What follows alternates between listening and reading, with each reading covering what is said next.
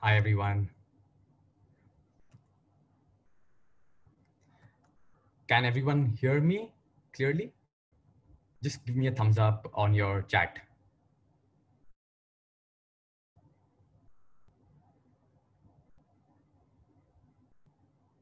Perfect. Uh, a very good morning to all of you joining in. Thank you so much for making the time to come on a Saturday morning. Uh, welcome to this cura special curation that we will put together at Ashika as we will try and understand this enigma called the Indian consumer. But before we start, I would like to introduce our group. Very quickly then, Ashika Group is a 26 year old financial services group uh, offering services such as brokerage, lending, investment banking, wealth management, and investment management. Our team of 300 plus work together to provide services to over 125,000 retail clients, 100 plus institutional clients, and over 100 family offices. The session will be moderated by me. And to those who don't know me, I am Chirag Jain, and I lead the investment banking and the investment management businesses for Ashika. And in case you didn't recognize me, I'm sporting this stash as a lockdown styling choice. Well, I guess that is why men's grooming products are doing well, or maybe not. We will listen in from the experts. Speaking of experts, today we have a robust panel. They come from diverse backgrounds and bring in perspectives that can help us understand more about brands, consumerism, marketing, etc., etc. So first, without further ado, let me make the introductions. Uh, First, we have Nikhil Ojha. Nikhil is a senior partner at Bain and Company, probably the best mind on the Indian consumer from the consulting world. He leads the strategy practice at Bain in the APAC region. He has extensive experience advising clients on a range of issues, including growth, growth strategy, M&A, joint ventures, partnerships, you name it. Um, he advises all of the companies that you probably use on a daily basis. He's, and we're privileged to have him. Uh, second, we have Rakesh Soni. He is the global head of strategy and M&A at Tata Consumer Products, which operates legacy brands such as Tata Tea and Tata Salt on the one hand, and an international brand like Starbucks on the other. In his earlier avatar, he was a director and India head of Proterra Investment Partners, a global food and agri-focused private equity fund. And before that, he was a partner and founder at Motilal Oswal's private equity fund. I've known him personally and I'm very glad to have him. Uh, he's probably one of the most dynamic leaders I have come across. Very open to new ideas. You know, he's donned various hats of an investment banker, fund manager, and now as a corporate leader. Thank you so much for, uh, for, for joining us, Rakeshji. And third, we have VT Bharadwaj. VT is the founder of A91 Partners, a 2000 crore investment firm. Maybe it's more, I'm probably missing the numbers there, that invests across healthcare, consumer, financial, and technology sectors. Before this, VT was an MD at Sequoia Capital. We, have all heard the name. Uh, where he led the firm's most prominent bets in consumer space. Pratap Snacks, Raw Pressery, HealthKart, Go Colors, Suburban Diagnostics, Cloud9. The list goes on. I didn't have enough time, so I'm just naming a few. His current investments include Paper Boat, iFinance, and Sugar Cosmetics. Gentlemen, it is an absolute honor to have all of you in this panel together, and we welcome you. Um, I hope you can uh, see me. Uh, so, gentlemen, I'll begin the first question with Nikhil. And uh, mind you, I would love for you all to have a very conversational style uh, uh, seminar so that we can all have like real discussion and in-depth uh, understanding of what we're talking about. So my first question to you, Nikhil, is, is, you know, it's a very basic question. Um, is who really is a consumer? How do you really define a consumer? And, you know, when we talk about consumer and we talk about forecasts, we compare an Indian consumer to to those that are from other parts of the world, specifically China and the US. So, you know, uh, how how are we different and how are we alike? Would love to know get that perspective. Thank you very much, uh, Chirag. Uh, hello, everyone. Um, Chirag, um, uh, because you'd uh, talked about this uh, earlier today, uh, if I can use some numbers to uh, just ground people into who really is the Indian uh, consumer. Uh, here's the thing uh, if you think about it in terms of the total households that are there in the country, uh, we used uh, you know, some uh, proprietary work last year to understand where is the consumption actually happening. And the first column does nothing but establish how many households are in what income segment, right? So if you take 27 lakh rupees per year household income as the high income uh, cutoff, that's only 3% of the country, right? And then, you know, 5 lakh to 27 lakh is 21%, uh, two and a half to 5 lakh just think about it as 20,000 rupees a month income for the household to, to 40,000 rupees. That's the sort of range, which is uh, one third of the population. And then half of the country or 43% is uh, below 20,000 rupees per year, uh, per, sorry, below 20,000 rupees per month per household, right? But look at the middle column of consumption. That top 3% of the household actually does 5% of the consumption expenditure. The next 21 is 29, the next one is 34, and the bottom is 32, right? So that's one way of recognizing that once again, you know, for most of us, you know, for the companies that we deal with or the companies that we're interested in, it's um, anywhere, uh, you know, so it's the first row, second row, and maybe half of the third row that becomes relevant but on an aggregate basis, uh, uh, you know, the country really is, uh, you know, as much running on the, we have a GDP which is 60% private consumption expenditure and half of that actually, two thirds of that comes from the bottom two rows. So that's an important thing for us to remember as we think about where the consumption is coming from. You asked about China. And I will uh, use the last column to contrast that. The last column says, all right, you know, this is this may be where they're spending from, but what are they earning from? And you'll see that whether it's the highest income group, where 66% of the people are actually uh, self-employed.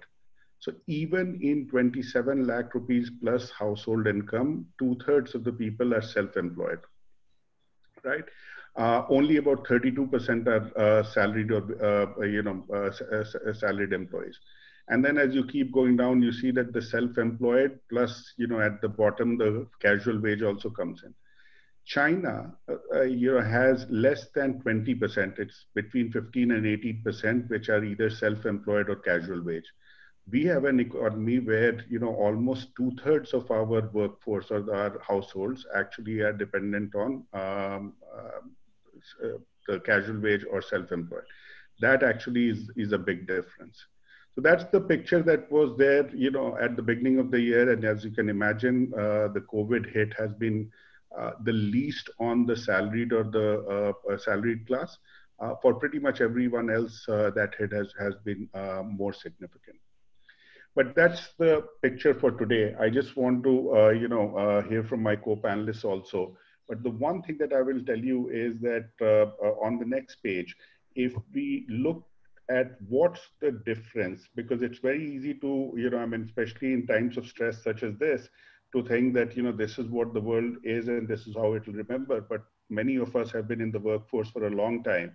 And we use some, uh, you know, uh, data from the past to say that, you know, not that long ago in, in our working lifetime, this was the income distribution of the country right? Where the high was just 1%, uh, 1 million household. And this was like a, you know, a very crudely drawn Eiffel Tower sort of a distribution. If you look at what the situation was uh, you know, 13 years from then, on the next page, uh, this is what it had become by 2018. That yes, you know, the income disparities were still there now, what we did was that we uh, looked at, you know, the uh, both the demographics as well as, you know, kind of the type of employment opportunity that were coming up to ask ourselves, all right, if we was to if we were to use a mirror now and say that from five to 18, this is the shift. What's going to be the shift over the next dozen years? Then this was on the next page the uh, projection that we had in terms of uh, uh, what it would look like in 2030. So if you click through, you'll see that uh, you know this shape actually then changes to more like a diamond, where the life that we have seen as consumption, uh, you know, people interested in consumption, is where a lot of people move from the gray to the light pink, and therefore the sachet revolution actually happened. the next 12 years are not going to be the sachet revolution. Yes, there will be more of that for sure, but you know the big shift that's going to come is the lower middle income households going into the uh, upper middle household. What has happened because of COVID? There has been a time shift. So this, you know, as I said, this was done uh, last year uh, when we had uh, uh, done this work for the World Economic Forum and presented it there. But uh, you know, as we look at some data that we've collected over June and July, we believe that this phase shift could last anywhere from you know an additional 12 to 24 months. So you can read this 2030 as a 2031, 2032. Uh, that's the impact that we can best establish right now. Thanks, Nikhil. I think this is a big revelation. You know, uh, when you mentioned SAS, the sachet revolution is not going to happen again, and it's going to be a different way of uh, looking at consumers in the next uh, in the next uh, 10 years. Uh, so my next question now uh, is to Rakesh ji. you know, while there are, you know, we've seen this log because of the lockdown, FMCG has had its own challenges. there are large FMCG companies which have done well, some have not done well you know, according to you, what, how are these companies, large companies, really thinking about uh, about consumers, and how are they managing the show right now? Hi, hi Chirag. Uh, first of all, uh, thank you for giving me this opportunity and welcome you all for this very interesting conversation. Um, see, if you look at the large FMCG companies, you know, and there are there are uh, a bunch of them in, in, in our country and they have been in existence for a long, long time. So in fact, FMCG is one sector where there has been companies for over 100 years now. So you know, if you look at Levers of the world and uh, Nestle's of the world, they have been in this country for, for a long, long time. So what does that do? That basically helps you to understand your consumer inside out. I mean, we are essentially a tea company to start with, and we know that um, our consumers who who have this uh, you know cup of tea in the morning will go out of his way to find and ensure that he gets his you know stock of tea and coffee so when the pandemic uh, broke i think the first and foremost uh, thought that was going in our mind was to ensure how do we go to our consumer and continue with our supplies. There were lockdowns uh, and you know uh, all over the place you know you, you and the, the biggest challenge that we faced was there were no people. There were no vehicles. And uh, it became extremely difficult for us to ensure that uh, how do we uh, how do we get our products to our consumer. I think i think that is where the entire organization focus moved you know uh, we, we were not looking at advertising our products anymore we were we were not looking at launching newer products but we were ensuring that uh, under any circumstances we should be able to make our products available to our consumer and i think that was very important because a consumer when when you say who's your consumer a consumer is a person to whom you make a promise and a promise of one, delivering the product and delivering it on a consistent basis. I think these are the two promises that you make to your consumer, and that's what we focused on. And I think it served us really well. And uh, I mean, happy to uh, you know share with all of you, and that has been true with with other companies as well. If you look at Britannia, for example, they grew by 27 percent uh, in this lockdown. If you look at uh, HUL, they grew by double digit. If you look at ITC, they grew by almost 34%.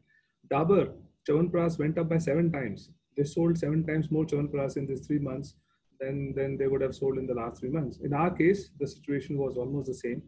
Not just in India, but even in, in, in, in international markets, in US, UK. I mean, we grew, we, we saw growth that, that was absolutely unprecedented. Now, one of the key reasons of that growth was that we stood uh, and we delivered on our promise that we made. And I think that is that has been a, been been been common with with all the companies that I have spoken to that uh, they just ensured that the key products, the main products, everybody stopped producing, you know, things that were not necessary. For example, if you look at Nestle, they, they almost like quadrupled their capacity on Maggi because they realize that the consumer right now needs Maggi and not the other exotic stuff that they make. So I think that was a shift that, that all of us took and it has served all of us quite well. No, thank you, Rakesh. I think uh, what what we'll what we'll have to test is really that are some of these trends, you know, Chyawanprash going seven times, is this here to stay? Are people, even from pre-COVID levels, you know, that's where the challenge is. And that is where I think uh, maybe VT can. We will, we will, we will obviously uh, discuss that in greater details later in our conversation. But mm-hmm. yes, there are certain trends that I can assure you uh, are there to stay, and, and and it will be a good interaction and a good good sort of a thought-provoking uh, discussion that I'm looking forward to. No, uh, I agree. So you know, this is why my next question to VT would be to you. There's a big, uh, you know, obviously Rakeshji brings his perspective from a big brand and an, and, and a large brand that, that Tata is. I mean, all of us know about Tata Namak and Tata Tea, but there's this big emergence of D2C brands. And when I say D2C, they're really trying to be the be the startups who are trying to go to consumers directly, direct to consumer. Uh, you know, they are finding new ways to use data analytics uh, to understand the consumer and build products that are suited for them. What do you really think about this? You know, so my question really is, are Indians open to the idea of experimenting, or are we too comfortable of buying head and shoulders? जब dandruff है dandruff है तो are, are, shoulders are we open to the idea of That's a wonderful question. So, first of all, thank you for having me on the panel. Um, um, and uh, let me straight uh, jump into your question, uh, Chirag. Uh, I think the uh, first of all, I know there's a lot of conversation about D2C, and uh, you know, as though you're kind of labeling them as a, a very new phenomenon, right? I I would not think of it like that really. I almost think of it as saying, look, whenever channel through which the consumer buys the product has evolved. For example, when we moved from a very traditional mom and pop, very GT driven purchase to even modern trade, right, where you started having the big bazaars and Reliance and DMarts of the world, it was an opportunity for the customer uh, and the consumer to see new products. You know, I've always thought of retail as a window to the world for the Indian customer, right? Given background, you know nikhil just made this point about how india was very poor has become less poor and even 10 years later will be slightly less poor right i'm saying just think about that is where india is coming from right so for the true indian customer retail has always been a window to the world and that window was a small kirana shop that window became a slightly bigger larger looking more modern looking format and today that is also now on his mobile phone so his window has enlarged right and what really D2C companies are doing is, I don't like to call them as direct to consumer brands. I just call them as digital first brands, which is brands that are introducing themselves to this window first digitally. But there is not one entrepreneur I have met, uh, uh, one smart, ambitious entrepreneur who's thinking of it as saying, I will be only digital only. They're digital first, but very soon they want to be available uh, to the customer and over a period of time their aspiration is to have the supply chains that you know tatas have and unilever have because you want to be available to the consumer. Because one of the challenges is this lockdown after maybe i don't know maybe 20 maybe 30 years india was again introduced to availability driven product right? You would walk into a, a small neighborhood kirana and you had only one type of coffee and you bought it because that's the only thing available but you know sure that's a temporary phenomenon and many of us have also started getting back some of our brands which we may have wanted right so D2C is really digital first. Their mobile phone has become a new window for the customer to buy. And that is the opportunity that entrepreneurs are chasing. And it's like, look, any in any business, you know, where there is some disruption, there is always a hope that some of the leaders don't do that good a job moving on, right? And that creates windows, that creates spaces, right, for entrepreneurs and new companies to emerge, right? And that's the way I see at least uh, you know the the D2C evolution. And there, of course, look, some of these changes, as Rakesh said, is going to be here to stay. I'm saying you are that window is now certainly a window with more number of Indians. It may have been with maybe 50 million Indians uh, and was growing very fast, but now COVID has kind of shortened the cycle for that window now opening for maybe 300 million Indians, which basically makes it quite exciting for companies that say, hey, I will start digital first with, of course, the ambition that I want to be there in every nukka and every corner of India. And, and, that's how we see it. You know, we see it with uh, Sugar Cosmetics. You know, they may have started life as a digital first brand, but you know, you may be surprised to know, but they have like 600 or 700, I think, points of sale, uh, uh, which is very old world, what you would call old world Lakme style, right? I'm saying that that that is a natural evolution. Uh, uh, and what this lockdown may have done is their digital channel has seen a bigger upsurge. To Rakesh's point, you know, let's say it may have been 40% of the business and suddenly now in july it may be 70% for many of them not just them. But look you expect it to settle down. And there is some shortening of time horizon that has happened in terms of mix of channel right? But as a product and as an entrepreneur you're still trying to embrace it just to add to what uh, VT said, and, and, I think it will be a good example here. So when we launched uh, Tata Sampann, and that happened about two and a half, three years back, and a very traditional product, you know, pulses and besan, and you can't be more traditional than that. But we chose to go to the digital uh, world first, you know, as you rightly said, you know, we were first to digital. And, uh, you know, the kind of response that we got on the digital front was amazing. I mean, it's like almost 60% of our current revenue comes from digital only. And, uh, you know, we, in fact, I got a data yesterday uh, from Amazon, and I'm happy, I mean, I'm sharing with all of you because it's a public information now uh, beyond the private label of Amazon, which is about 26% of their overall grocery online sale, we are about 18%. So we are the second largest, or maybe the largest, because private label we are 18% of the overall grocery sales that Amazon does uh, in India, and we are only a two and a half year brand. And today, because of that, you know, the physical infrastructure or the physical spread of uh, the brand is increasing. So digital, as I think VT very, very rightly mentioned, could be the initiation of the new brands but but you know it is just a way to sort of you know reach out in terms of your your your product quality and the differentiation that you want to create in that sector. Got it. Got it. Um I, I, can i follow up another question vt maybe? So just quick point here is that uh, are these or maybe uh, rakesh can also answer the d2c brands are really going digital first because they have lack of capital right or would you say it is a great strategy even for like as Rakesh said for his Tata Sampann brand also. Like, should you do digital first first as a launch of your product, or should you start uh, going offline or or? or? Good question. I think uh, look, it's also uh, I think some of it is because it is giving access to a large distribution very early on, right? Uh, you're talking to three people, let's say, or two people to make sure that you know today you're talking to a JioMart or you're talking to Amazon, you're talking to a Flipkart, and then you're getting access to a channel, right? Then you say, hey, I'm talking to five other modern trade retailers and I get more channel. And then finally, I kind of talk to the GT, which requires more time, right? Because there is friction and there is time that is involved in building a general trade distribution network, right? It takes a bit of time. It's organic, you know, it's not something that can be at a press of a button. So that I think is the reason. That is one of the reasons. The other reason is also that uh, when you're launching a product, and one of the challenges, and, and, Rakesh will empathize with this in consumer products, and so will Nikhil, is it is so hard to know, especially when you're trying new products, is, is there any product market fit?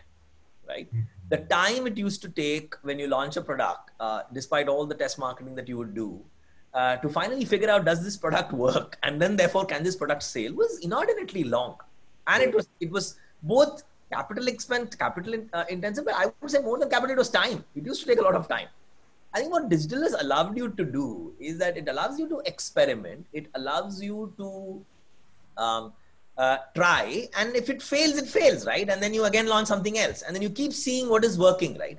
And then you say, hey, this shade of lipstick, or this type of a juice, or this type of an ingredient in shampoo seems to have more acceptance. Therefore, should I take this product? And should I do this, right?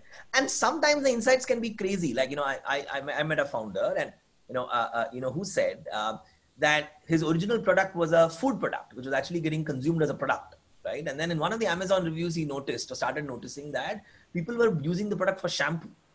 Uh, this was an apple cider vinegar product, and they used it as a shampoo. And he said, "Hey, maybe I should launch a shampoo." And from what I hear, it is now one of the most successful uh, ingredient-based shampoos that in in some of the digital channels, right? So it's a bit like that. I think the what has happened thanks to digital is that the ability to launch a product and the time it takes to find out if there is product market fit has come down. But net net, if you want to be successful, you need to use that insight and then launch the product and scale. I'm like, you know, you can have otherwise you'll just have a you know one channel wonder, right? right. So you will need to do that. I know the brand that you're talking about. I uh, I think Manish may have joined as well. Oh, wonderful! uh, I was feeling his story then.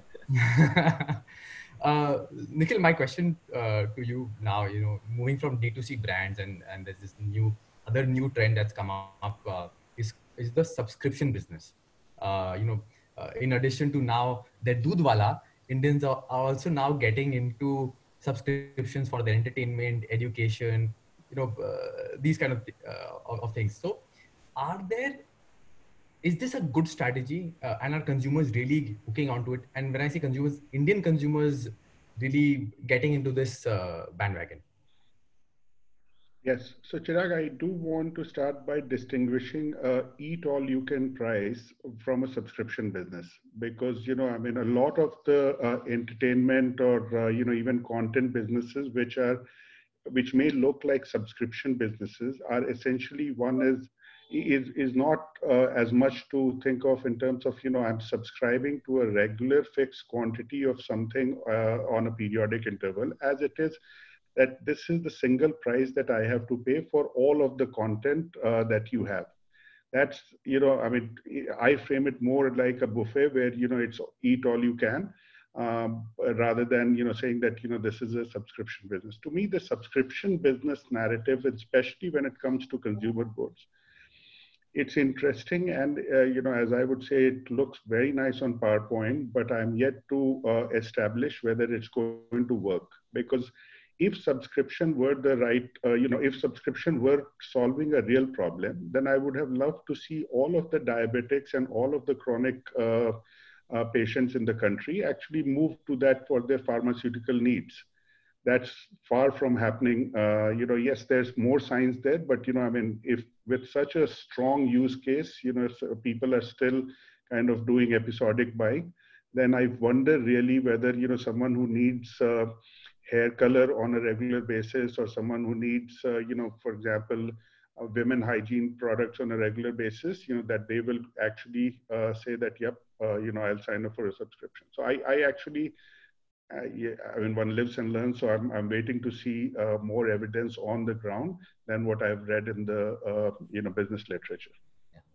If I can add to what Nikhil is saying, I would even be more provocative. I would say even in this whole eat all you can, uh, you know, consumer media type platforms, uh, yes, there is some early traction. Uh, but I think I would go to the the diamond or maybe the pyramid slide of Nikhil, right? I think the relevance of that to a large body of consumers is just not there. I think it's hard to see why a household income of even 5 lakhs or even forget 10 lakhs should be regularly committing to a subscription, especially if half of your salary or half the households are self-employed households with uncertainties uh, on one side, right? And and even in this eat all you can consumer media type businesses, which Nikhil has alluded to, I would argue that finally the, the, the, the folks who focus on big revenue eventually go to advertising, which is exactly not subscription, right? Which is saying, hey, you see me and then I will monetize it somewhere else right? Versus you see me and you pay for it, which is let's say the Netflix model, right? So quite skeptical. Yeah, I think it is relevant for a very small India. Uh, can it be an add-on? Maybe, you know, maybe. Uh, uh, uh but uh, I would, I would, uh, I would, I would wait to see if Netflix will continue with subscription, or at some point of time they will say, hey, you know what, ये बहुत मुश्किल है. Why don't I just start advertising the wonderful millions who are seeing me? And just to uh, Chirag, add a little from this question to the previous discussion. Uh, it's the following. Brands, uh, you know, if you now switch back to, you know, what does the company want or what does the founder want? Brands only grow by growing penetration. That's, you know, a truism which has been there for the, you know, in the real world or the non-digital era also, and that is going to remain the same. So when VT talked about the fact that you know one can be digital first, but in the ultimate analysis, one wants to be within an arm's reach of desire, as Coke would say, or you know it is a in the mind, it is the one which is most salient when I have a particular category need. None of us go out looking for that. You know, I want to buy uh, you know Colgate. We say that my toothpaste has run out. And then when we go to the store or when we go on Amazon, if Colgate intercepts us first before Pepsodent does. Colgate gets that transaction. So, you know, while I'm a very big proponent of brands, I'm also, you know, very clear that, you know, building a brand is actually about, you know, making sure that your mental availability, i.e., you know, your association with the category, your physical uh, availability, i.e., just being at, there at the point of uh, transaction, and the range. If if if I need a Moov cream versus a Moov spray, those are two very different things. So you know one can't just say that you know Moov is associated, so it will get all the occasion. So that stuff is very important, and therefore, even from a business economics perspective, it would pay a lot more to say that I'm going to drive penetration rather than you know kind of uh, expend too much money on subscription because that's a that's a quest for loyalty which actually doesn't exist in brands. And one quick yes and no uh, question, Nikhil, to you is when you said that when the you know in 2030 when the entire uh, you know uh, uh Indian consumers uh, income is going to this pyramid where it's going to be middle class heavy or in that middle income going to be heavy. Uh, at that point, also would subscription not be a good good place in 2030? Not maybe today. Yeah, I, I don't see that happening yet, Chirag, but as I said, we live and learn.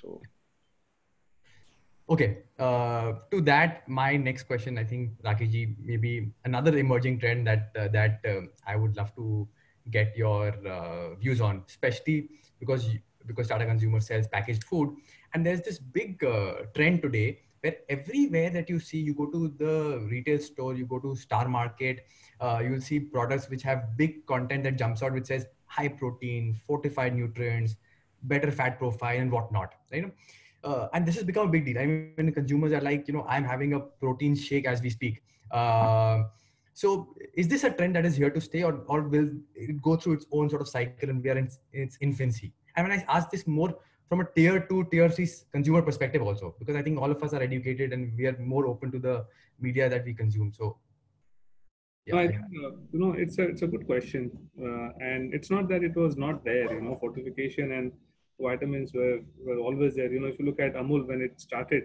you know, that whole advertisement about doodh and, you know, eggs was all about protein and about nutrition. See, what has happened? I think the pandemic has sort of hastened this whole process. And everybody is scared. See, every person, every individual, you might sound very daring, but end of the day, in heart of heart, we are all we are all scared, and we want to first of all take good care of ourselves, whether it is medicine, whether it is food, whether it is any other you know uh, protection that you would like to give for yourself. In in in subconsciously somewhere you feel that if you have nutrition food and if you have you know foods which is laden with more, more protein vitamin c's of the world you will not get the disease that you're all talking about. And hence i think it is more of a fear factor apart from everything else uh, which is sort of uh, pushing this agenda forward number two is you know what has happened you are sitting at home right? And your exposure to media is probably the highest ever. You know um, and you're watching television you're watching you're reading newspapers you are on zoom with your friends all the time. And you will obviously get a lot of advice from the whatsapp university all the time you know. I mean if you go to facebook you'll see about 10 uh, different products which only talks about protein. So there is so much of bombardation of of this whole subject matter you know through different mediums that you obviously don't want to be left behind and you also want to be seen as somebody who's taken up the trend I mean, as if, like, for example, you just showed that you're having a protein shake, you know, because everybody wants to be seen as, you know, following. The other, other big trend that has happened is that for the first time, at least I am seeing, where consumer is willing to pay a price. You know, India was always and still very, very price sensitive. But, but what we are also seeing now is that we are willing to pay a price if you are getting that benefit. Uh, and I can give you an example. Uh, in case of dal, you know, we are we do sell pulses in India, and we are the only people who sell unpolished pulses. And and what does the unpolished pulses do? You know basically it retains the nutrition of the pulses because you don't re- remove the upper layer of the pulses you know and that's where the nutrition is. And it's a very simple thing right? And we are able to command a premium of, premium of almost 20% vis-a-vis the normal pulses and if if uh, if a traditional thinking goes you know you know people would not buy so expensive pulses because it is again the, the middle class which is buying pulses in, in bulk. And we found that we grew by almost 100%. And uh, we are out of stock all the time. You know, we are not able to satisfy the kind of demand that we have. So people are, their awareness levels have gone up, you know, because of, you know, being at home. And they want to be seen as consuming better quality products. So these are the two things. And I think the trend will be there to stay because having consumed a product which is one better in quality, you would not go downgrade yourself because as a human being, I will always like to upgrade myself. If I'm if I moved from let's say uh, a Zodiac shirt to a Brooks Brothers, I will never go back to a Zodiac. You know, I would like to go up. You know, and I think this is this is what I I would assume, and and I think this can is there to continue. Got it. Uh, know, interesting, uh, interesting point uh, that you mentioned here. I think. Uh, yeah, I just maybe add one thing to what Rakesh is saying. I think the the ground rule, however, I feel is that the whatever upgrade or trend that you're trying to ride on, uh, you know, it should be linked to aspiration and cannot be a massive compromise on taste, especially if it's food. So if you if you're telling me that hey, instead of buying an unpackaged spice, I should buy a packaged masala because it's safer, it's cleaner, with less risk of adulteration. By the way, if you can do some fortification, good for me. Uh, uh, and there is an aspirational element to it, right? Saying why lo- why buy loose and use loose? You know, why not buy packaged, right? I think then it fits in, and then I think there is an element of taste. I think the part where I struggle with and and has been around if it's healthy and not tasty, will it ever get consumed? Right. And there, my view is a more skeptic's view because I think the like your protein shake, I have tried. It's not. It's. I hope it's better, but mine, it's tough. Now I have it like a medicine. Then it's possible, but that I think then your market size is very small. Then you're talking about a very nuanced customer who's willing to make a sacrifice on taste for food, and that I would be a big skeptic on. But this aspiration and taste is very interesting, and it's it's you know, and this is true. And you know, I just remembered a very interesting anecdote where somebody told me how this is actually how uh, the Indian culture. India never apparently had a culture uh, hundred years ago of having a hot drink in the morning. Uh, uh, that is not something India had. Indians apparently used to have cool drinks or old rice-based drinks, fermented drinks uh, in the 1920s, right? And in a span of 30, 40 years, suddenly everyone started moving to having a hot coffee in the morning. So that is a, it's a British legacy and a culture that we have acquired, right? And today we all have hot coffee and chai as though it is something we've been doing for a thousand years, right? Versus it is less than 100 years old. I think the trick there, and I was going back and looking at some old ads of a brand called Narasu's Coffee, which is still a household name. And this was the interesting element. It's aspirational, saying, hey, the middle classes are now having it. Do you want to have it? Uh, of course, it's tasty uh, you know, I don't think it was healthy then. It's probably not healthy now, but maybe healthier than some other alternatives. so, I I agree with you. You know, this is a good good interesting take that you that you put in. Uh, so, VT, now you know I I want to ask you, uh, you know, uh, and again from an Indian consumer perspective, you've done multiple deals in the in the uh, brand space you've invested in Pratap Snacks that all of us are, are aware of what slightly more traditional. And you've invested in, uh, at least in your uh, earlier avatar at Sequoia, at uh, Raw Pressery and, and uh, Paper Boat with A91. You've invested in a bunch of very interesting companies. So what has been your learning from like how have they thought about brands how does a pratap think about brand versus how does raw press uh, uh, about consumers versus uh, um, Paper Boat or, or raw pressery and also if there have been some learnings where uh, there have been some counterintuitive marketing strategies that have worked that you've been like hey i would not go there i would not delve into that kind of strategy but surprised you were when you got to know that it worked. Uh, no yeah i think maybe i can just share a few anecdotes across a few companies uh, and i think in each one of course the story is slightly different right? So uh, maybe i'll just share, share more stories because you know it's hard to weave in necessarily a narrative right? I think one theme I can say is uh, has been around trying to find products that are more relevant for the Indian customer than uh, uh, than they may have uh, been designed to.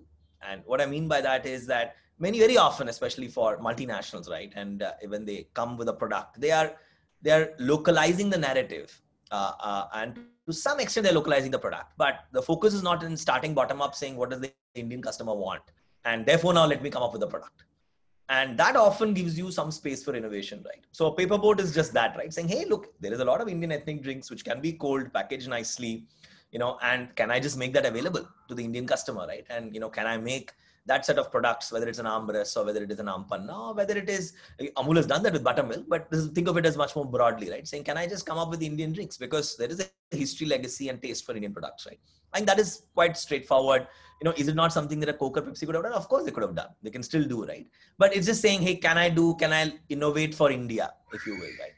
The second could be an insight which you pick. And here I'll probably talk about Fog, Vini Cosmetics, right? Which built the Fog brand, which is now a market leader in deodorants. The insight I thought uh, uh, uh, uh Darshan Bhai, Darshan Patel had was that the Indian customer actually never wanted a deodorant. They only wanted a perfume. Unko pata nahi tha, therefore they used to buy a deodorant.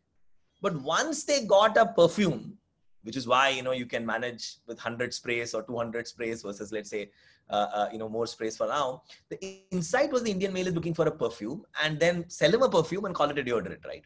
Because that's what other people have built the category on. A lot of people have invested and built the category and called it deodorant. So I won't change the category definition, but what I'm really giving you is a perfume, right? That was a product insight, which was tuned to what the Indian customer wanted, right? Um, and and third is in Pratap's case, I would say in snacks, I would say not just Pratap, I would say all the Indian snack brands, be it Haldiram, be it Balaji, be it Pratap. I think the insight that they have had, and time will tell whether that insight will hold, is that the Indian definition of snack is very broad. Chips bhi snacks hai, namkeen bhi snacks hai, you know, chulbulebi snacks hai, and they seamlessly move from one snack to another. So I think the insight they've had is that you can just have an umbrella brand for building all the categories. You don't need a Lay's for chips and a kurkure for kurkure. And that has helped them, right? Because then automatically, if you have to build less brands, then it's more cheaper. And then you can focus on availability. And you can focus on making the customer proposition work, right? So I think it has been themes like this, something where there is some element of innovation. But I think the one thing which all of them try to get it right, and where if they don't get it right, then you succeed less, is availability. You know after all this you know how do you make sure that you are find a way to your business to make it available in the maximum points of sale? Some people take more time and some people fail uh, uh, but the successful ones are those which make get there with the same insight right? With one insight traveling through. Got it. Thanks. Thanks vt uh, we'll take a couple of more questions and then we'll open it to the audience so anybody in the audience who has a question make sure you raise your hand uh, and then i'll allow you to come on screen and ask a question uh, another two, three minutes that is. Uh, Nikhil, my question right now to you is, uh, I was reading an article which said, uh, which, which, where they where they spoke about a Nielsen study which said two out of every three consumer in India wants to buy things which are local, at least want to attempt to buy things which are local. So there's a lot of uh, protectionism on on trade in India. You know, what do you think about this? uh, you know, this hashtag local for vocal, sorry, vocal for local. My bad. I'm still getting used to it. Um, so what do you think about about this? Will MNCs also resort to this idea? And if. So uh, Chirag, I'm privileged to work in a sector which you know the consumer doesn't care where the product was made, uh, right? And 99% of the time the product is made uh, in India itself. So you know, I mean, this has not been this has not come as something which dramatically needs to change uh, in uh, in the FMCG and in even in broader consumer uh, packaged goods space, um, including consumer healthcare or you know many of the durables also. But here's the thing: I, I'll go back to what Rakesh and VT had already spoken about. I think you know the more vocal for local. When I was talking to a few of my clients recently, I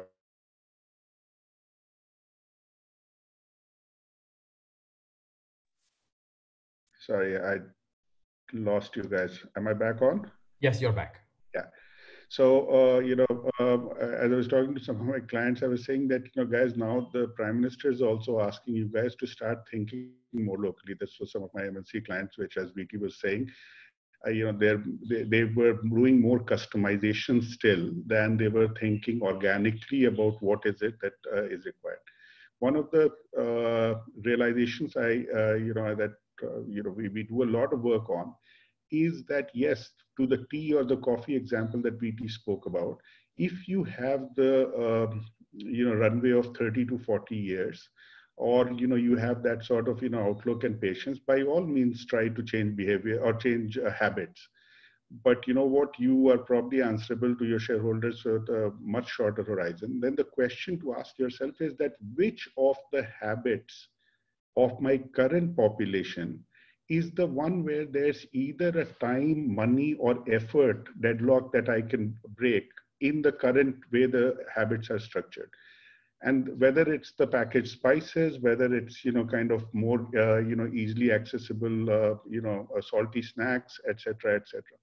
Fact of the matter is, I you know it, to to the Haldirams of the world, uh, it took a Pepsi to come in and you know create the chips market in India. Yes, you know we can all say that you know some form of chips already existed, but you know though that unpackaged chips was actually um, you know I mean the same as you know unpackaged bhujia or unpackaged you know uh, pakoras etc.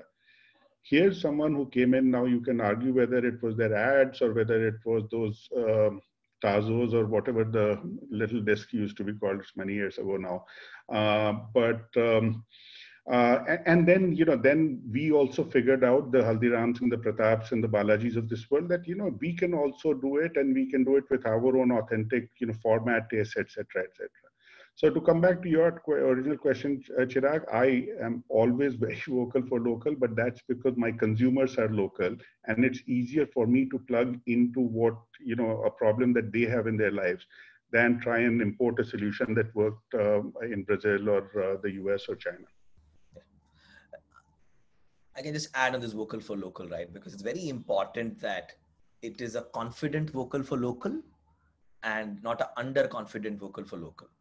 Uh, it is very easy to go down the path of protectionism, uh, uh, trying to stop and carve out markets and allow for regulatory capture by uh, uh, you know by by by by institutions. if you go down the path of protectionism, it's a path. it's a it's truly a road to hell paved with good intentions. Uh, and we have been there. We have some of us have seen that. Uh, I must have been younger. Uh, I think all of us were younger at that time, but we have seen that. You can, you know, you will struggle to have a good quality pen. You will struggle to have good quality packaging films. Uh, and and uh, you know uh, to Nikhil's point, I think the reason potatoes today are available till September or October is thanks to the work Pepsi did with farmers, you know, and and build cold storages at that point of time. So I think it should be very nuanced. It should be a confident vocal for local it's very easy to get sucked into a underconfident vocal for local where you think that you need protectionism because you cannot fight with competition um, and uh, and i think that's very important. That's very important. Uh, uh, you know otherwise uh, you know it will be complicated for everybody.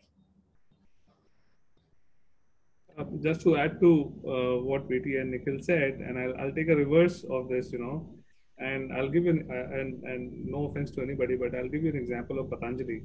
You know, when Patanjali came, you know, the kind of attraction it had because of the whole charisma of Babaji, that everybody wanted to buy Patanjali products. But look what has happened. You know, one, the, the quality of the products were really bad, and uh, people did consume them, but they left them, you know, uh, before they could complete even one cycle. But in the process, what Babaji did, he did a couple of things which was very good. One, he created new categories. And the people who benefited out of those categories were all the MNCs. You know, if you look at levers, they got into Ayush and they built a great business out of it. Dabur, they started more, they started selling more honey that they would have ever sold in their lifetime. So Babaji did a good job in terms of creating awareness, you know, and maybe uh, you know, vocal for local could actually do the same thing. You know, they could create that awareness and make our existing companies better. So, so adding to what VT is saying, if the intent is right, I think it will probably help the consumer at large. Thanks, thanks, gentlemen. Uh, I think we'll now open it up to the audience to ask questions. So, uh, so everyone in the audience, uh, I've seen, I see a lot of uh, hands that have been raised, and uh, uh, I'm gonna, I'm gonna ask each of you all. Maybe I'll allow you all to talk. Maybe the first question can be asked by Varun. Varun, I'm gonna, one second. yes. Hey, can you hear me? Yes, Varun, go for it.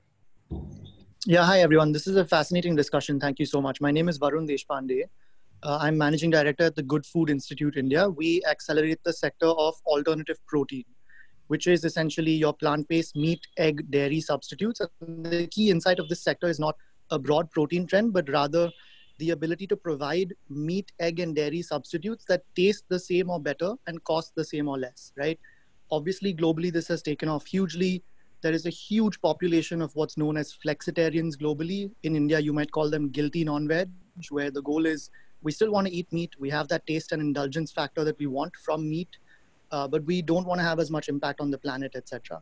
Now we've done a ton of consumer research, a lot of market sizing work. There is a cohort of people that exists in India that wants to eat this stuff, right?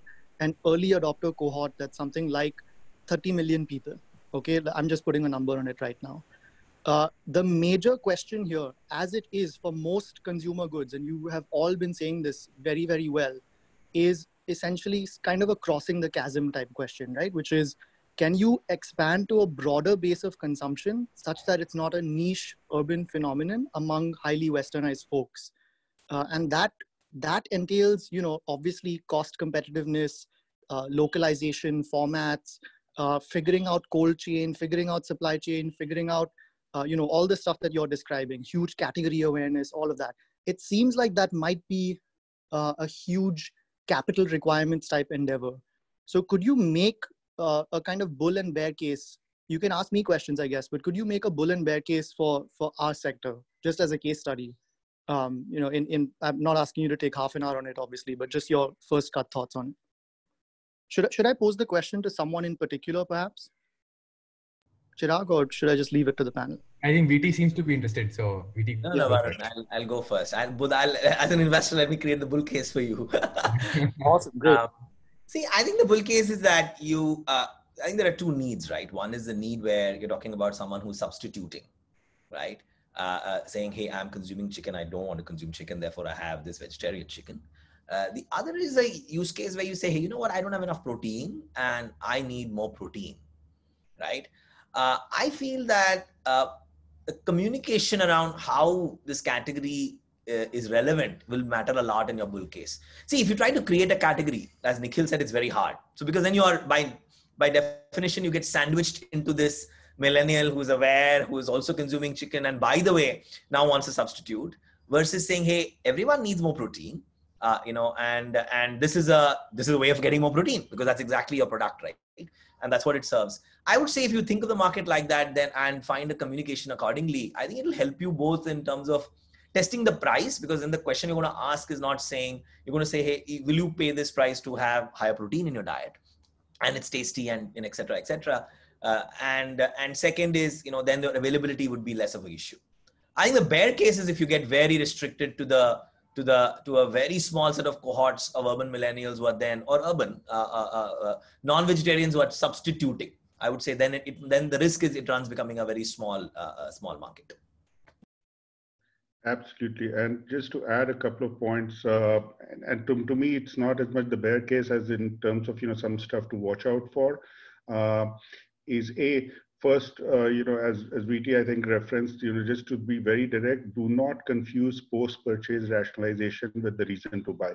You have to give him a reason to buy that is aspirational and that is positive and that adds to his persona or his, you know, image of himself or herself and then yes you know all of this it'll go in, it's going to be better for the planet etc is post purchase rationalization which you can have in the copy somewhere but you know that's not why he's going to uh, you know be buying you uh, the second thing that I would say is, and this is, you know, before I became a consultant, I spent uh, seven years at Seagram when uh, that beverage alcohol company was starting in India. And we had massive debates about whether to go for the belly of the beast, which in those days used to be, be McDowell number one and, you know, kind of uh, director special sort of whiskeys, or, uh, you know, uh, do the different thing, which is what we ended up doing, which is to say that if we can establish our gross margins on the product per unit sold, we do not mind to have a smaller business in the first three years of our existence. But once we've got that mind space of higher quality, higher premium product, taking that down to you know uh, to what is now the Royal Stags and the Imperial Blues and the Blenders Prides of this world is going to be uh, easier than to say that I'm going to recruit customers by you know sacrificing my gross margins, etc. So make good gross margins to begin with, which you should absolutely 100% and more reinvest into building the brand. Uh, but that's the way in which you can build a runway for a, a, much longer and much more enduring growth business for many years to come. Thanks. Uh, thanks for the question, Varun, and thanks, VT and Nikhil, for answering. Next up, uh, I'll ask Anoop uh, G to ask a question. Hey, hi, uh, hi everyone. First of all, you know, excellent discussion going on, you know, and it's going on such a hot topic, but in a very calm and composed way. I really like it. Saturday morning, right? And and great insights. Uh, so uh, my question is, you know, with respect to financial services category, a lot of interesting changes happening in the industry now. Uh, uh earlier, it used to be like large banks, uh, you know, trust, and you know there was an era of only public sector banks. Then uh, we have private sector banks. Uh, some of them are really, uh, you know, liked by the customers because they feel that their their money is safer there. But still, customers are not very happy with the services. Now we see a trend of NBFCs and fintechs coming in. And and if you see the fintechs they are spending huge amount of money to acquire customers. And and uh, you know the the cost of customer acquisition is pretty high whereas uh, the revenue that they should generate after incurring that cost is not really compensating uh, for the cost that they are incurring so are they making a mistake uh, in terms of uh, the approach that they are following. In, in the fintech world or in the financial services, uh, should it be a very different approach? to acquire a customer. Uh, are there any insights, any great examples globally, something that Indian uh, financial services players can learn? Thank you. Uh, also, gentlemen, let me give this caveat to, to both of you, all three of you all, that Anupji is heads uh, uh, financial services investments at IFC. So you he knows what he's talking about. So just to give that caveat in place. Thank you, Shiva, for warning us. No, just just just correcting myself here. You know, uh, it's not that uh, you know I am only South Asia equity lead uh, for uh, financial sector and fintech. Thank you, Nanki. Thank you, Anupji. Nikhil, you want to go ahead? why don't you start, Rakesh? I'll add on. No, I, I, I mean, I have known uh, Anup obviously for a long, long time, and we are. I think uh, you know, uh, as a as a as an exposure to the financial world, you know, and I think uh, um, what uh, Nikhil presented in the chart was very interesting. That you know, bulk of the saving that has happened in this country is the top two tier, which contributes only about 10, 12 percent of the overall population. Now, as a and in any large uh, you know disruption that happens in the financial services space, you need a population to be able to adapt it. And uh, I guess uh, that transformation is happening. So I would I would probably draw a metaphor from from what Nikhil presented, from Eiffel Tower to a to a pyramid to a diamond. I think by the time we reach the diamond stage, I think you know the penetration of those kind of services could be much higher. Uh, and I don't think, uh, and I, I personally feel that that transition has already happened. I mean, if you look at companies like, uh, you know, policybazaar.com and few other who in, in, in similar sectors have, have been, have been able to create that kind of pull and they're, they're, they're fairly profitable too. Um, and, uh, you know, even in, in financial services, if you look at smaller banks and, and companies that has come up from smaller cities and, and, you know, I was part of the private equity world and, and there was one company that we had invested with basically, and, Anup was a co-investor in that business and we have seen that transition happening. So I guess uh, uh, I guess it's a it's a it's a journey that has well started, and uh, you know the kind of adoption that is happening in in, in India, especially the digitization, digitization adoption that is happening, and and more and more investment coming in that space. I think I feel that you know the momentum is about is already begun, and the next five to ten years would be would be something which we will we will all witness. And uh, in my view, the new banks that will emerge or the larger financial services companies that would emerge would be largely digital focus and not physical as they are today. Uh, maybe I can just add one comment there. I think uh, this is a debate we have had, right? The tech and fintech, where should it be focused on? Uh, does it necessarily need to be focused on customer acquisition or can it be focused on other parts of financial services in terms of underwriting, in terms of processing, etc., so that it can still be cost effective and successful, right, in terms of scaling. But none of your problem is real. I think if the customer cost acquisition is too high, then hard to see how you can build a very large business. Uh, uh, where we have taken, like, you know, one of the investments that we have done at A91 is Digit, right? And we think of it as very much uh, uh, tech first, if you call it an insurance. But even if you ask them, I don't think they're saying that they are acquiring customers uh, wholly online they're acquiring customers, riding on existing channels, as Nikhil would say, and and acquiring customers wherever it makes sense, but being very disciplined about customer acquisition and investing all the technology much more on the back end, so to reduce cost and make the cost of delivery much lower.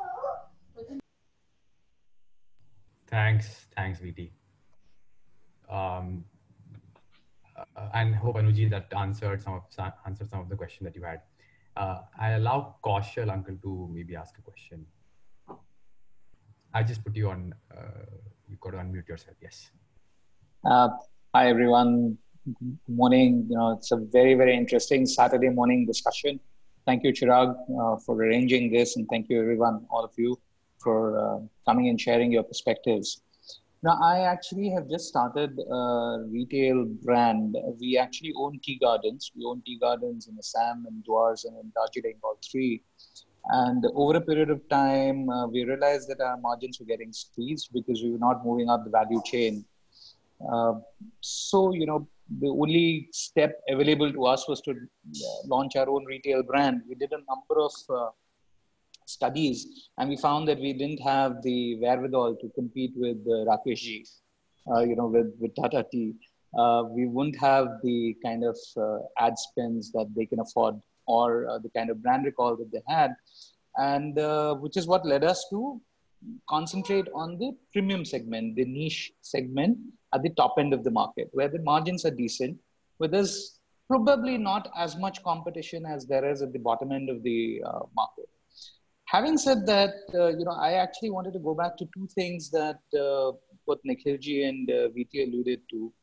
Uh, saying subscriptions is not the way uh, that you can build up uh, any sort of volumes. While we haven't really gone to the subscription model yet, but don't you think that you know in terms of educating people about products that they're not even aware of and i say that because let's say for example in tea most people today in tea are uh, sticking to their tried and tested uh, combination of that tea that they have in the morning you know the masala chai whether it is tata tea or whether it is unilever's they're not really uh, aware of the various categories or various kinds of tea uh, you know if you go out there and ask 10 people I I am of the opinion that eight of them will probably not have heard of what a matcha is, or you know what a rooibos is. Now, if you want to educate people on these uh, newer varieties of tea, I mean, I also know that half the people in the country probably don't know how to brew a Darjeeling right. You know, if you if you brew it just the same way that you are used to brewing your Assam, it doesn't work. So, in situations like that, do you think what is the best option? A, to compete with a behemoth like Tata Tea. Uh, two, to create your own individual space uh, where you know you are known more for bringing and curating these experiences for uh, people, even with even where volumes probably are not as large, but you're protecting your margins. Like Nikhilji said, that's what Seagram's did. They did not uh, go after the McDowell's number one and the director's special they created a brand or they created a, a, a route where their margins were gross margins were good enough for them to survive with lower volumes what do you think can a brand like ours which is very nascent which we've just launched about nine months ago uh, do we are seeing a great deal of traction online which is the other bit uh, do you really think that this online behavior where uh, everyone seems to be ordering today uh, online will it will it really stick uh, or will people revert back to going to hypermarts and grocery stores? So, you know, a lot of questions in, in that uh, one thing. And I'd really be very grateful if you could share some experiences or perspectives. Let me start, and I'd love to see uh, what Rakesh says about this too at NVT. Uh, but Kaushal, a few things. You know, one is, uh, you know, just to uh, caveat the Seagram example I gave, it wasn't to stay at the, uh, you know, 105% something special end because that would have meant a very small uh, addressable market. But it was the notion that, you know, once that is established, then even for my mass market brands, I can get the 30 or 40 rupees extra per bottle. And that will give me, you know, money to keep funding my brand brand work going forward. Uh, so, the, so the gross margin point is important. But the second thing is that you have to ask yourself, are you true to your product first or true to your consumer first? And, you know, I mean, it may come across as a, uh, as a tension, uh, you know, but it's not an absolute tension, but there is a mindset issue to be sorted out because Indians don't drink tea, they drink milk uh, you know, it, it happens to have a tea flavor in it. Uh, so, you know, one has to ask oneself that, you know, yes, the Assam versus Darjeeling, you know, or when I talk to the uh, tea buying people, you know, they talk to me about the notes and the tones, etc. And it's, it's fascinating. But at one level, it is uh, relevant to a very, very few people who truly care about the, uh, you know, that particular ingredient. And for not the 80%, for the 99.5% of the Indians who essentially, you know, put so much sugar, so much milk, and you know, kind of uh, brew it so wrongly that the quality of the tea becomes a de minimis uh, impact in terms of, uh, you know, the beverage that they're actually uh, used to. That's not something that's going to make you uh, win. Now, the good news though is that I don't think you need to uh, take on Tata Tea today or HUL or even uh, you know Wagh Bakri or anyone else. You can ask yourself that yes, you know what is the motion which is going to get me the first you know pick a number 50,000, 100,000 consumers who are going to truly appreciate my uh, offering. And that motion, uh, the only thing that I'll say to you in that is that, you know, 20 years ago, no one could have done it because uh, as, as VT was referencing earlier, the distribution had to be through GT. Uh, advertising had to be through media. So if you don't have a budget of uh, four to six crores, you can't get started. And you know, production was you know a, a, different issue altogether. In your case, production sorted out. But I would also say that you know, with the digital uh, uh, media available, with you know, kind of the e-retailing options available, to to say that I will be able to crack the motion which will get me to the first 20 crores or the first 50 crores, that should indeed be possible. The only thing to keep in mind is that don't make that motion of a way which then you know kind of maxes out at that 20 or 50 crore ask yourself what's going to be you know the way in which i will expand the perimeter once i have taken that first beachhead uh, in in my business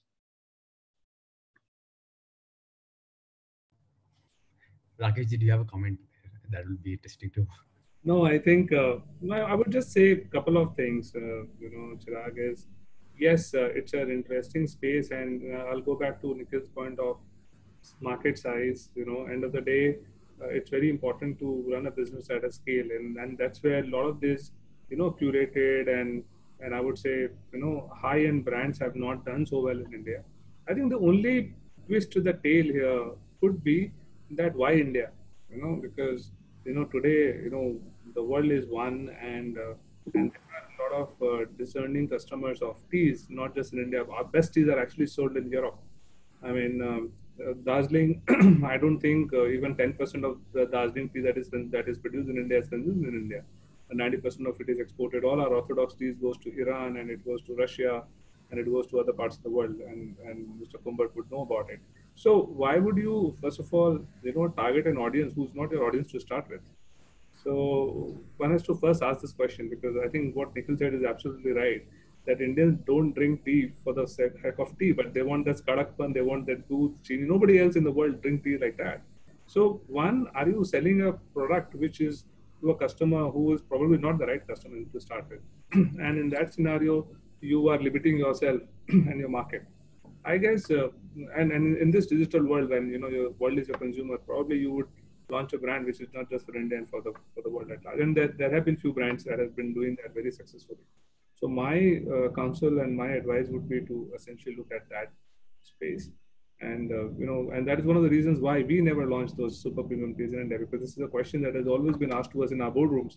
And these are classical boardroom questions. Oh, why are you not launching? Look at this guy; it's such an exotic tea. I mean, you are a board member, and and obviously you like to have those exotic teas once in a while when you come for a board meeting. But then it does not happen every day. So, so my point is, you know, end of the day, you need that basic customer base to be able to make your uh, product successful. Uh, thank you, thank you, Rakeshji. Uh, we've gone well ahead of time, and I'll spend uh, another five minutes on uh, on uh, on the rapid fire. So, guys, this is the end of our serious conversation, and you know, one of our one of my guilty pleasure has been watching Coffee with Karan. don't judge me and i'm sure a lot of you have watched snippets of those episodes they are they are hard to miss. And therefore, we got to ask some rapid fire questions. So everyone, uh, you know, uh, my questions are going to be, are trying to be meaty, but uh, let's let's hope uh, we can get a we can get a fun uh, uh, fun answer from all of them. Um, so my first question is rank in order of talent. Ranveer Singh, Ranbir Kapoor. Okay. sorry guys, you you weren't expecting that. I, I I actually got inspired by Coffee with Karan anyway, uh, uh, you know, and Nikhil, uh, I'll first, you probably can take the first answer and then uh, Rakesh, you can answer, then VT, maybe you can answer that. Uh, of the following options, what is your idea of India at 2030? You know, uh, will India be the manufacturing hub of the world? Will it be the tech hub of the world? Or will it be the services hub of the world? Services. Rakesh I I think uh, manufacturing and services. I would put it that way. Services. Services. Right. So nobody's betting on tech. That's interesting. Um, another question is uh, India's next growth phase will be owned by large domestic business groups, or will it be owned by global MNCs, or will it be owned by startups which are coming out of India? Nikhil.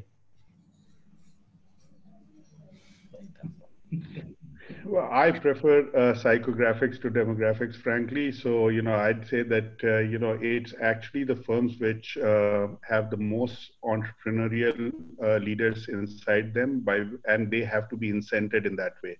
Uh, I think, you know, with that in mind, I would say that, uh, you know, the startups, Indian companies, MNCs in that order is it would be my. That's interesting. That's interesting. Rakeshji.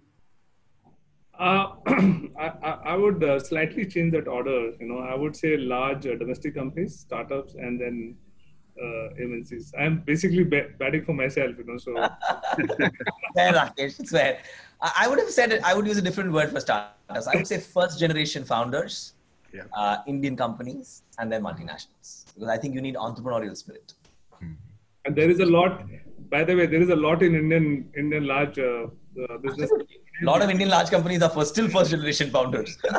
they, they, do have people, you know, who are first generations who are running them. So end of the day, I think the leadership makes a, and they are entrepreneurs in every right. Uh, Absolutely. Absolutely. Absolutely. Uh, another question is, you know, had had you known that the lockdown was going to happen, what would be one thing that you would probably do differently, Nikhil, for you? You're saying if you would have known it in advance? Yes. so I'll go last. Nikhil? Uh, oh, I thought Rakesh, you were going uh, first. Uh, Chirag, I probably, you know, so I escaped from Bombay and came to my uh, Delhi home, so that was good. Uh, uh, but I probably, if I knew it was going to be for five months, I would have gone to Bhimtal. The net connectivity is as far, as good, and you know, so that's that's the one difference. Rakeshji you know, if I would have known, I think I would have sold all the FMCG companies just before the lockdown. bought them, you know, just after the lockdown, and right now I would be a rich man. You know, so maybe this that big time, I would say. Yeah, I was. It's like I stole my answer. I would have sold my entire portfolio, waited for March 17th, and rebought everything. um, uh, another uh, trend uh, that you think that will probably significantly slow down uh, because of the pandemic? You know will it be the movie screening business you know the way we consume internet entertainment the sharing business? What do you think will probably slow down post the pandemic? A trend that was emerging in the last few years so I think on-the-go consumption is going to take a very long time to bounce back. You know, there will be some spurts, uh, you know, um, in terms of revenge buying, uh, you know, when finally the sun comes up.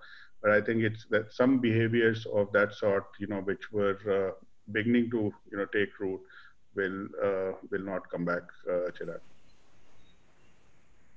Thank you.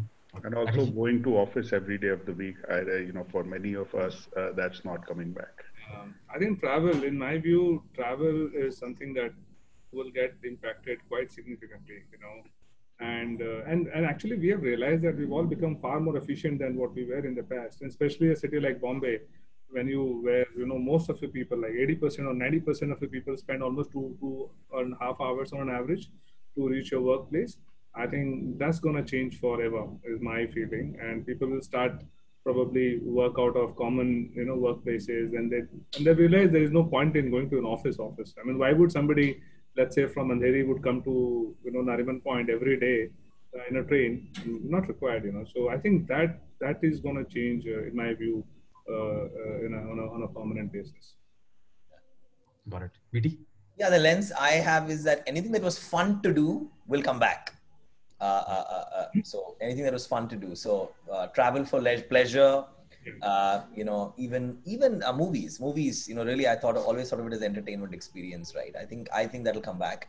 Anything that was painful to do, and where now you have a substitute like office commute, you will rationalize. You will rationalize and you will reduce. Is would be my my sense. Uh, I'll uh, I will ask another question. You know, the, something that's probably little, uh, uh, interesting. Any skills that you've learned? You know, my question actually I had written any household chore that you've probably become got gotten good at. but uh, but feel free to take that answer the way you'd probably like it. Nikhil. New skill? No, I've rediscovered. Uh, you know, I've I had slackened off on my reading, so this uh, actually five months has been very very helpful that way. Uh, you know, a lot of uh, my work used to uh, involve a fair bit of travel. With that going out, uh, you know, I've gone back to my books, so that's that's what's been a big change. You've you've set the tone of this answer to be serious. I'm I'm hoping Rakesh oh. will not follow that. I've I've become a pro in you know cleaning the vessels. You know, so I, I and, and I, somehow I enjoy it a lot. You know, and I'll be very honest. I, I'm gonna share.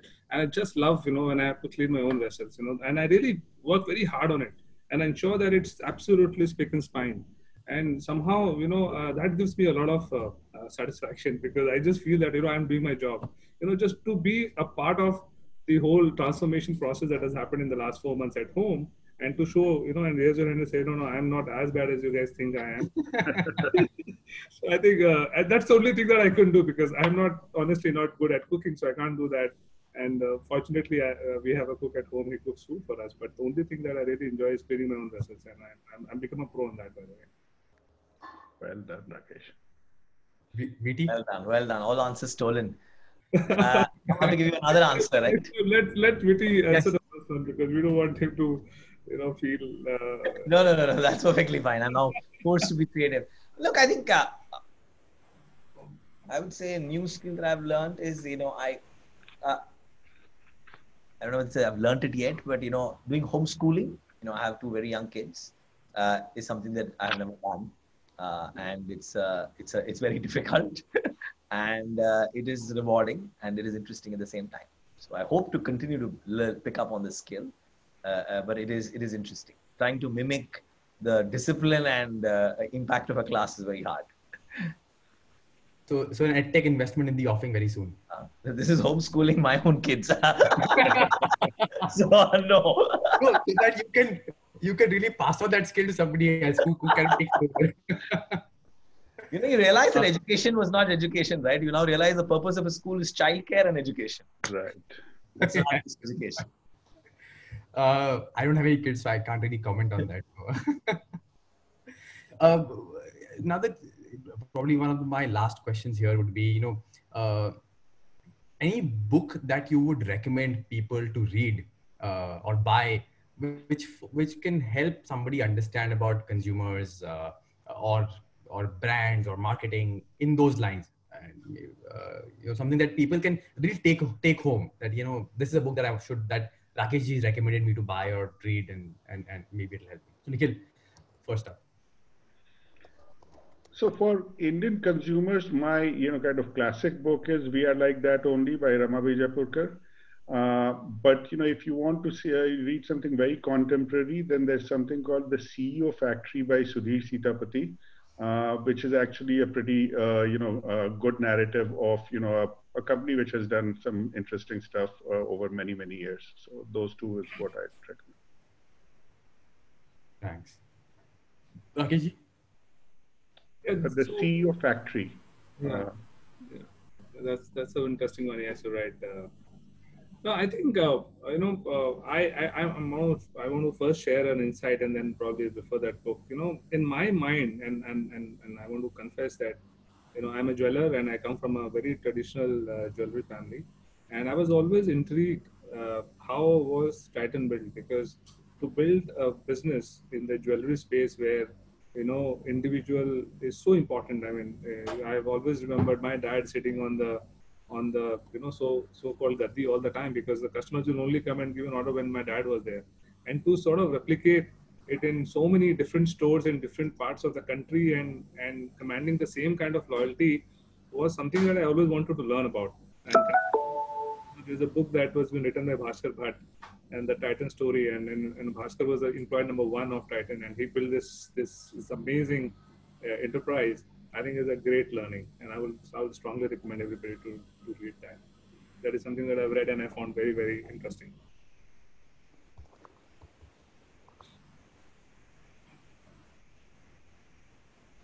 Uh, I don't have a consumer book. I think I was going I was going to say Sudhir Sitapati's book, but uh, said that. I think it's a different book. It's a book by Mervyn King called uh, Radical Uncertainty in Decision Making, and I I really enjoyed the book because the we often think of consumers as very rational, um, and uh, and as though the buying process is a very economic process where they're weighing pros and cons and buying right. Uh, I think that book was interesting because uh, it talks to it talks to that issue right. Uh, and if you think of consumer buying as also extremely behavioral as opposed to rational, I think it'll be helpful for people, individuals. Uh, then you don't try to, when you think of changing or riding or moving along, I think you're a lot more humble. Uh, uh, I would I would recommend that book. The book is called Radical Uncertainty by Mervyn King. Got it. Got it. Uh, gentlemen, this I think brings us to the end of the entire conversation. Uh, if there's any parting thoughts that you all want, we're happy to for you all to share to the audience. And for audience's uh, benefit as well, I've mentioned the books names in the chat, so you can just sort of screen take a screenshot and and buy it if you would like to. Nothing to add from my side, Chirag. Thank you very much for having me over, and uh, it was a lovely discussion with VT, Rakesh, and yourself. And thanks to the audience also. Yeah, I think uh, uh, similar sentiments. I must say, I think it's a great beginning of a of a weekend. Now, though there is not much of a difference between a weekend and weekday, and uh, you know, uh, so I think interesting times, I would say, and uh, I think honestly, these are the times when you could differentiate between the boys and the men, as we say. And I think we have lived up to the expectations. the good thing is that I think we have raised to the occasion, not just individuals, corporates, but as a country and uh, and and I think uh, the process is still on. I think we are still have to we are still in the thick of the pandemic, as we say, and I think this situation is going to continue for more time. And look forward to similar interactions with you, Chirag. Uh, Thank, you. Thank you. Thanks, uh, Nikhil and uh, to have accepted this. no, no. Thank you. A very enjoyable Saturday morning. Thank you so much. Uh, you know, I hope to continue conversations with uh, uh, Nikhil, Rakesh, and you. Thank you, thank you, uh, gentlemen. Uh, I also want to point out uh, that you know while we were sending out these invites, uh, there were I we received a couple of emails where where people said that it's a manel. Uh, so I I from Ashika I must uh, apologize that we're all men in the men in the panel here.